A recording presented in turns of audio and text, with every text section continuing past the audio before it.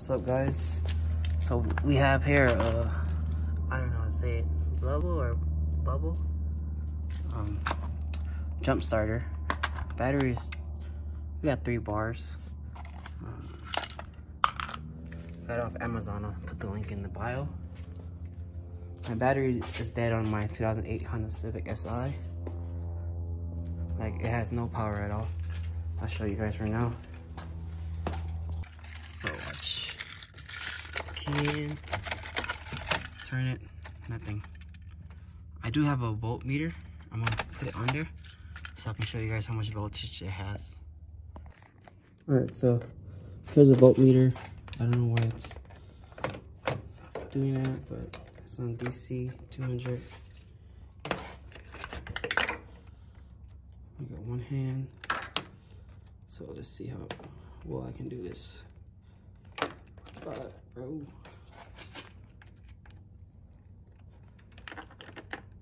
Yeah, it's gonna be complicated. Stick that in there.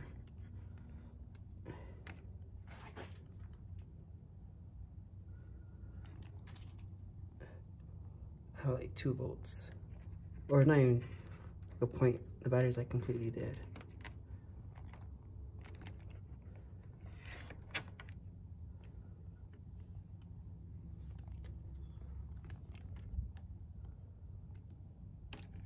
It's like dead. Cause the car I haven't started for like about a week. Haven't drove it. So what we're gonna do is plug this bad boy up and show you guys how well it works. So you guys can get one. I've jump started other cars before with this. So it has a little spot right there. Let me zoom on basically it's only one way to plug it in just one side has a square part. Plug it in and we're gonna go we're gonna jump it.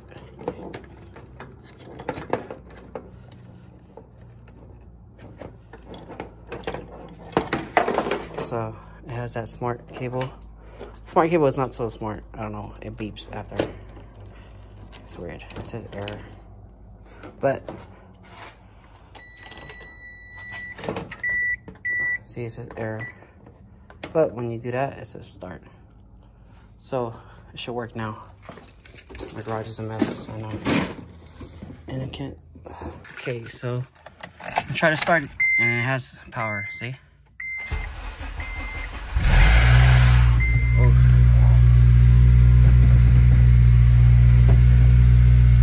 Good. So now we go unplug it. One thing is it says error for some reason He's telling you to unplug it. And once you unplug it, you just disconnect this one from the device.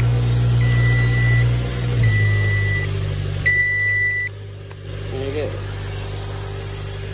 So it's been working so good so far. But as you can see, the battery was dead.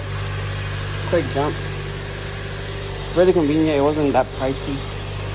I'll put the link in the bio, the description, for the Amazon. If there's one on eBay, I'll put our eBay link also.